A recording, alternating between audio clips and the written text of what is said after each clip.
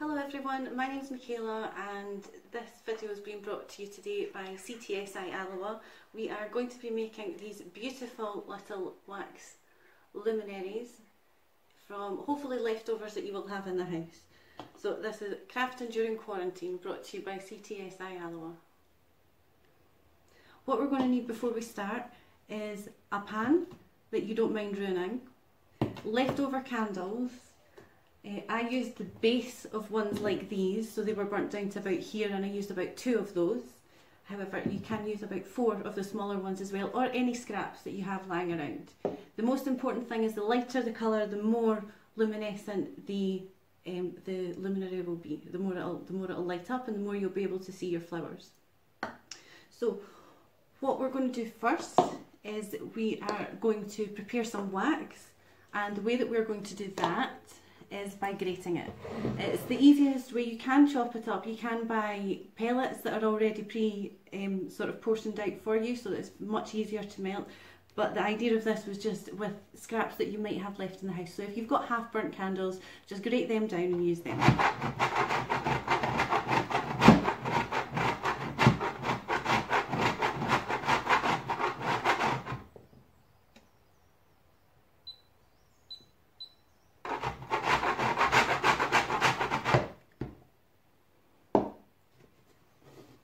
Then just going to add all the wax that we've grated into the pan. And again, one that you're no longer going to use for cooking. Um, the bigger the better because it will depend on the size of the luminary that you're able to produce with the area that's in the pan. The other thing that you're going to need is filled water balloons or filled balloons with water. Um, these are perfectly fine as are normal balloons this is a normal balloon and what I've done just so that you can see here is I've filled it up but left no air. Now the most important thing with this craft is that you cannot submerge the balloon with any air in it into the wax because if there is any air left at all then it'll burst and you've got hot wax here so you definitely don't want that. So make sure your water is filled right up to the top to the very very top so as you can see by this, the size of the luminary is going to be in between these two sizes that we've got here, and that is simply because of the size of pan that we're working with, um, this one. So what you want from the balloon and the pan, you want to be able to submerge a balloon filled with water into a pan of wax, and you don't want it to touch the sides. So you just need to leave a little bit of room. We're just going to give it five minutes for that wax to melt and then we'll get making.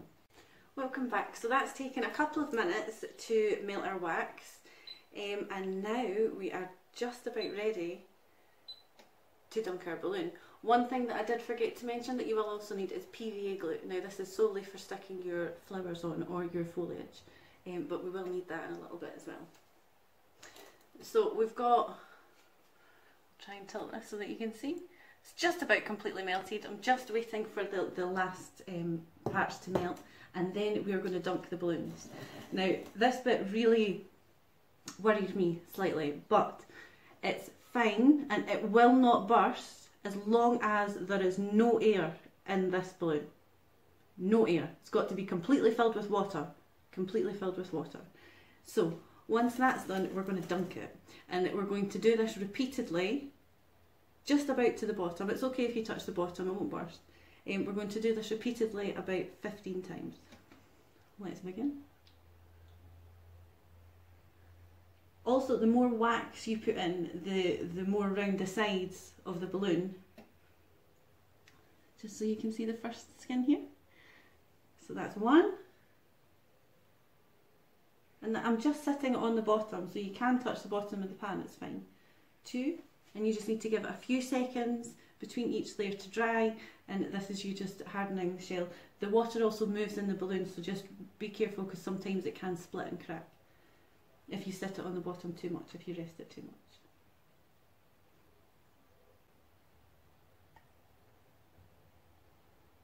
And 15. So now after you're 15 you will see that we have quite a thickness. It is uneven expect that, but we're going to, I'm going to show you how to neaten that up just later on. So I'm then just going to sit that on the chopping board for a moment. And what we're going to do now is pick our flowers.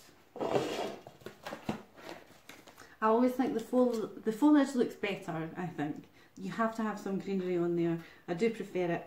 Um, and these are just herbs that have been pressed from the garden or bits of fern. Just between two books, as I said earlier.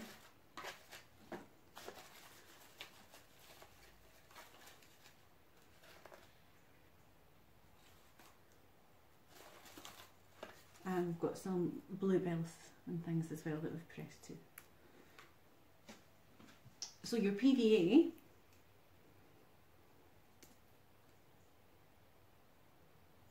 you can apply it directly to the wax. I just by nature always use my hands um, for getting messy.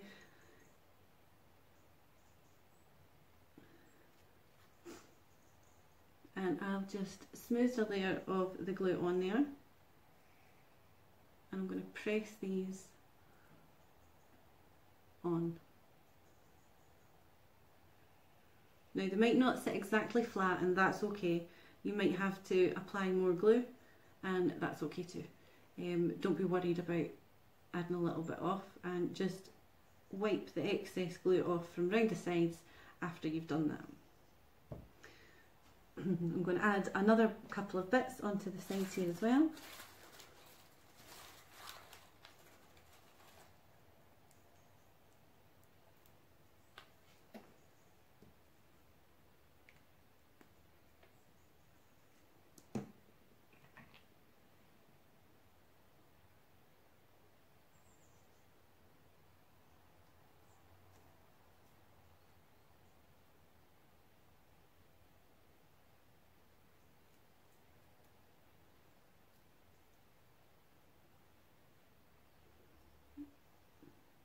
Just broke off so I'm just popping it on on its own like the wind's blowing it away like this. So once you have as many flowers as you would like onto your luminary the next thing is to seal them on and we're going to do that by dunking it again and we're going to do that another 15 times.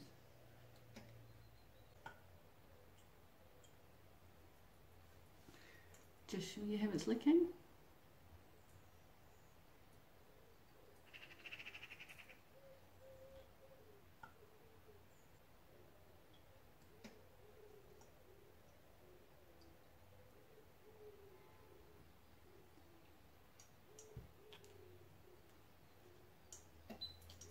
Next thing, move the hot wax out the way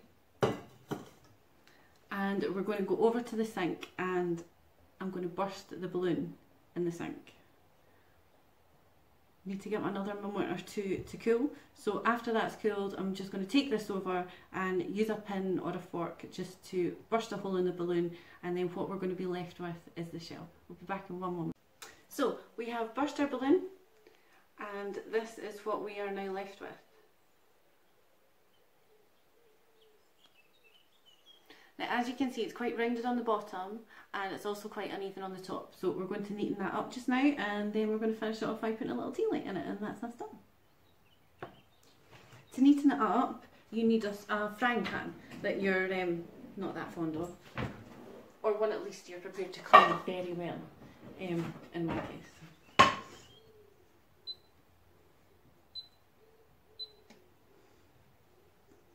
And all we're going to do is use a frying pan.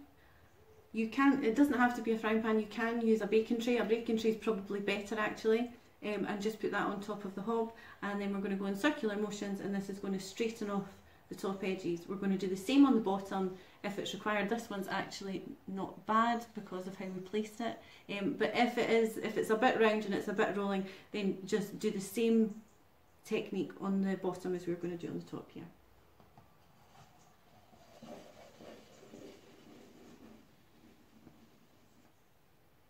You see how that's straightened up already?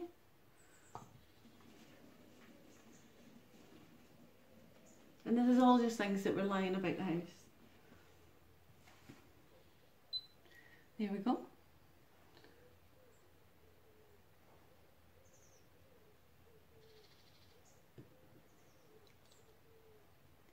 And you add your tea light inside And there's your luminary. I hope you enjoy making them. If you have any um, feedback at all, please drop it down in the comments below. Thank you very much for watching and I hope I'll bring you many more videos.